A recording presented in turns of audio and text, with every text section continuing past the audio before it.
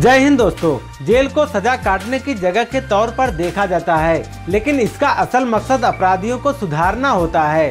Jail की एक अलग दुनिया होती है, और कई लोगों के मन में इस दुनिया के बारे में जानने की इच्छा भी होती है। क्या आप जानते हैं कि भारत में कितने प्रकार की जेल है, और उस जेल में किस प्रकार के कैदियों को रखा जाता है? सेंट्रल जेल और जिला जेल में क्या अंतर होता है? अगर नहीं जानते, आज हम आपको इन्हीं सवालों का जवाब लेकर आए हैं। दोस्तों, वीडियो पर आगे बढ़ने से पहले, यदि आप हमारे इस वीडियो पर नए हैं तो सब्सक्राइब ज़रूर कर लें और साथ ही बेल आइकन को भी प्रेस कर दें। हाय दोस्तों, मेरा नाम है सुनील और आप देख रहे हैं यस के नॉलेज यूट्यूब चैनल।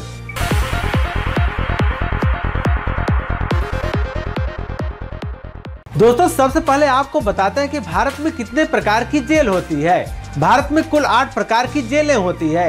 जो राज्य सरकारों के अधिकार क्षेत्र में आती है, जैसे सुरक्षा, रहने की व्यवस्था, मेडिकल सुविधाएँ, आज के लिए सरकारें समय समय पर केंद्र सरकार की मदद लेती रहती हैं। दोस्तों, अब आपको सभी आठ प्रकार के जेलों के बारे में विस्तार से बताते हैं। नंबर एक, सबसे प्रमुख है सेंट्रल जेल। दोस्तों, सेंट्रल जेल में उन कैदियों को रखा जाता है, जिन्हें दो साल या अधिक की सजा हुई हो, या जिन्होंने किसी घिनौने अपराध को अंजाम दिया हो। सेंट्रल जेल में कैदी की नैतिकता और सच्चाई बहाल करने पर काम किया जाता है। यहाँ बंद कैदी जेल में काम कर पैसे कमा सकते हैं। हर राज्य में सेंट्रल जेल नहीं होती। वहीं कई राज्यों में एक से अधिक ऐसी जेल हो सकती है। नंबर दो, जिला जेल। दोस्तों, जिला जेल और सेंट्रल जेल में ज़्यादा अंतर नहीं होता है। जिला जेल उन राज्यों और केंद्र शासित प्रदेशों के मुख्य जेल की भूमिका निभाती है, जहाँ सेंट्रल जेल नहीं होती है।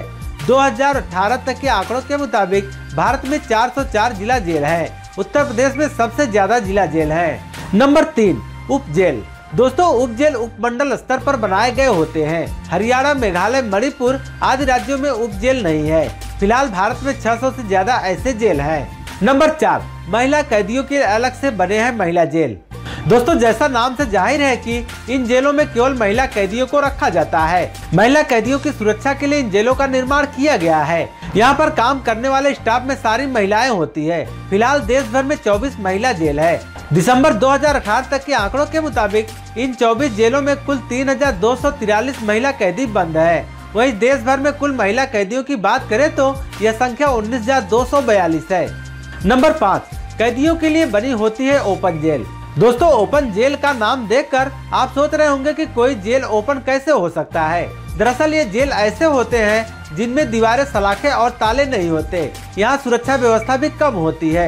इन जेलों में उन कैदियों को रखा जाता है जिनका व्यवहार अच्छा हो और जो नियमों का खरा उतरते हैं। यहाँ रखे जाने वाले कैदी खेती कर पैसे कमा सकते हैं। उन्नीस सौ बासठ में देश में पहले ऐसे जेल की शुरुआत हुई थी। नंबर छह, नाबालिग अपराधियों के लिए बने हैं बास्टल स्कूल। दोस्तों बास्टल स्कूल एक प्रकार के यूथ डिस्टेंशन सेंटर होते हैं। इन्हें भारत में आमतौर पर बास्टल स्कूल के नाम से जाना जाता है। इन स्कूलों में अपराध में शामिल नाबालिगों को रखा जाता है। यहाँ पर उनके कल्याण और पुनर्वास आदि पर ज़ोर दिया जाता है। यहाँ उन्हें शिक्षा और वेकेशन ट्रेनिंग दी जाती है, ताकि बाहर जाने के बाद उन्हें रोज़गार मिल सके और वो अपराध से दूर रहें। केंद्र शासित प्रदेशों में एक भी बास्टल स्कूल नहीं है।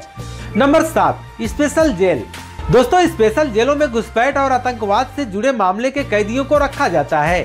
इन जेलों में सुरक्षा के विशेष प्रबंध होते हैं। इन जेलों में महिला कैदियों को भी रखा जा सकता है। केरल, असम, महाराष्ट्र, तमिलनाडु आदि राज्यों में ऐसी जेलें बनी हुई है। नंबर आठ, अन्य जेल। दोस्तों, अन्य जेल भारत में तीन ऐसी जेल हैं जो ऊपर लिखी किसी भी कैटेगरी में शामिल नहीं होती है। ये कर्नाटक, महाराष्ट्र और केरल में स्थित है। बाकी राज्यों में ऐसी जेल बिल्कुल नहीं है। दोस्तों, अब आपको बताते देश में कुल कितनी जेलें हैं। 2016 में देश भर में 1442 जेलें थी, जो 2018 में घटकर तेरह सौ निन्यानवे हो गई। इनमें से 628 सुप जेल 404 जिला जेल, एक सौ चौवालिस सेंट्रल जेल 17 ओपन जेल, इकतालीस स्पेशल जेल 24 महिला जेल 19 बास्टर स्कूल है। तो दोस्तों, हमारी ये वीडियो आपको कैसी लगी, हमें कमेंट बॉक्स के माध्यम से ज़रूर बताइएगा। तो दोस्तों, मिलते हैं अगले वीडियो में। तब तक के लिए जय हिंद।